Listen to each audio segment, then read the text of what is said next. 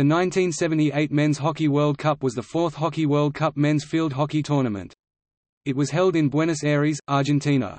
It was won by Pakistan, who defeated the Netherlands 3–1 in the final. The host nation, Argentina finished eighth.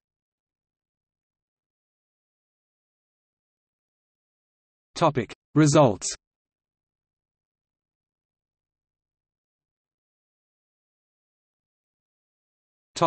Pool A Qualified for semi-finals Topic: Pool B. Qualified for semi-finals. Topic: 5th to 14th place classification.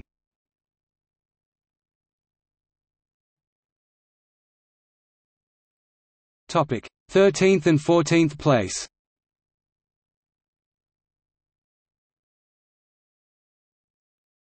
Topic: 9th to 12th place qualifiers.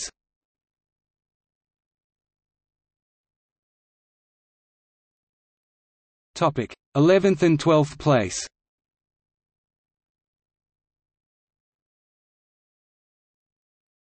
Topic: 9th and 10th place.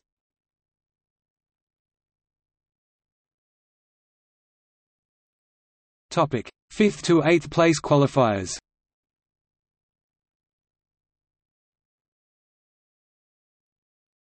Topic: 7th and 8th place.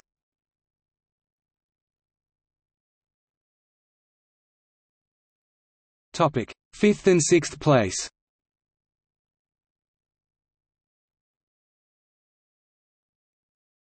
Topic: 1st to 4th place classification.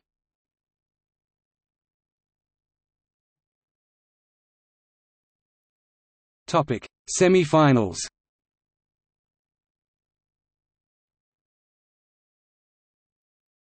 Topic: Third and fourth place.